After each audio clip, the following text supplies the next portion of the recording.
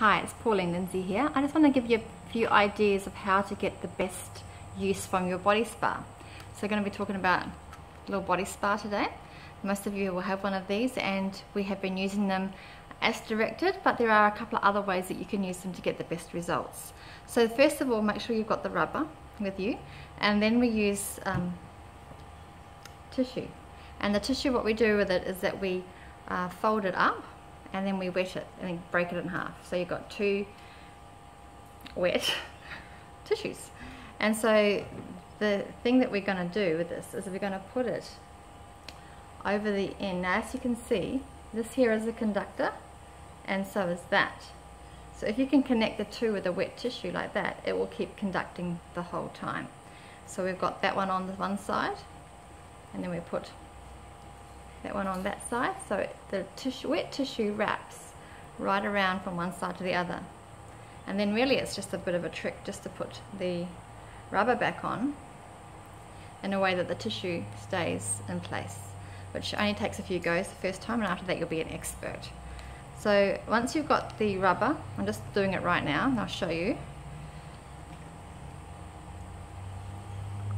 So the rubber is on the tissue is in place on both sides like that. Okay? So now when you turn that on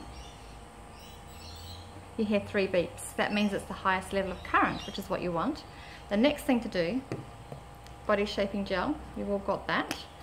Now you just put a little bit on the machine like that.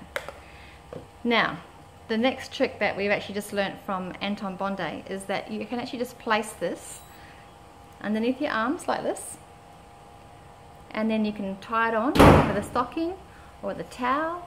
And when it turns off you turn it back on. Just every now and then just take it for a sweep up into the armpit.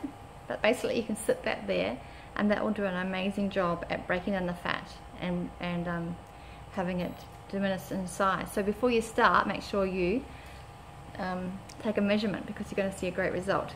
The other places you can put it is that you can put on a pair of stockings um, so if you want to do anything from your waist down, put on a pair of stockings and then slip the spa uh, um, into the stockings onto your skin and leave this, the spa on, sitting there on your skin. So on your tummy, so you want to get rid of a tummy, you just place the spa on there and you can keep turning it back on when it goes off. So it stays on for five minutes. When it turns off, turn it back on. When it turns off, turn it back on. A few times in a row and then you can move it from one place to the other. So if you're sitting down watching TV or you've got a couple of the time, just move the spa from one place to the other but leave it sitting there. As well as that you can do that on your thighs if you have, or on your knees. So if you have um, a pair of stockings on, the stockings will hold the spa in place and all you have to do is keep turning it back on. You might want to put a bit of extra gel on it at some point to make sure there's gel on there but really it's going to do the job. So why don't you give that a try? I'd love to hear your results and take before and after photos and measurements and I'd love to hear how it goes.